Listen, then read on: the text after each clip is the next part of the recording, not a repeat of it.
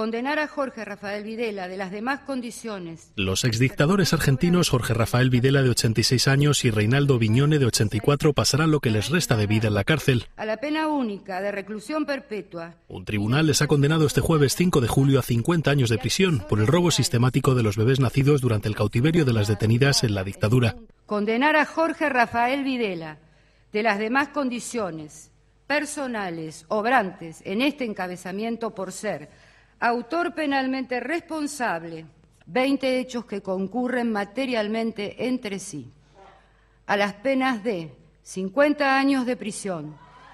Silencio. La lectura de la sentencia fue seguida con un especial interés en la Plaza de Mayo de Buenos Aires. A las penas de 50 años de prisión.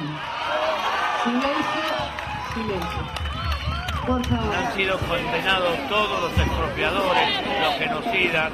Es una alegría para todos nosotros, después de tantos años de lucha, llegar a este fin. Fin con justicia, sin venganza. La justicia, sin odio. Antes de irnos lo vimos. Antes de irnos lo vimos.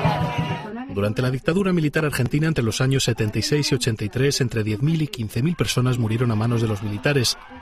Miles más fueron torturadas. Negativa de la aplicada en el punto dispositivo anterior, 199, 400 y 403.